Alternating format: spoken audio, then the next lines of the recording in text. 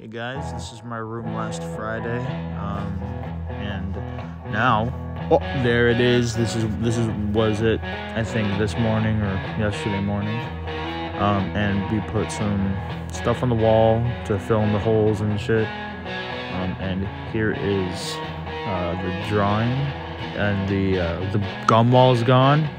And uh, this is where I was staying, and I was gonna sleep in my back house. Um, but it's fucking scary. So, oh, this is what it looks like now.